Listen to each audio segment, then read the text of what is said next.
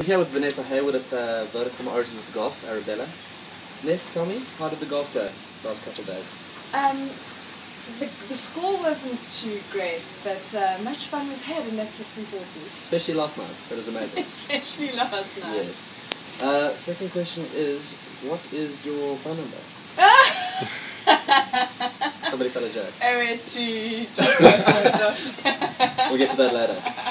Finally, you're off now to, where, where's your next venture? Uh, I've got so much going on at the moment. Right now, I'm off to Cape Town, and then uh, I'm actually off to the States um, in the next three weeks. But on holiday for once, I'm always traveling for work, and uh, this time I'm actually going for a bit of fun, and I'll be in Colorado. I'll be in Leadville, which is Nice. where all the ghost towns are apparently, and it looks absolutely amazing. And it's summertime there, so Exactly.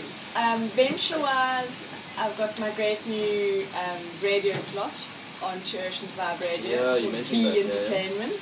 And uh, we chat about everything from gossip to fashion to movies and film, local and international celebrities, all of that. And it's Brilliant. loads of fun. I'm actually really enjoying it and I quite enjoy the research, you know, trying to find some really interesting things to chat about. And uh, film wise, there's not a hell of a lot going on in South Africa, fortunately or unfortunately, as an actress, if you're not producing, if there are no auditions and there are no films being made, you, you don't work. That's just a, a fact. Yeah. And not everybody's necessarily looking for a 30 something year old blonde.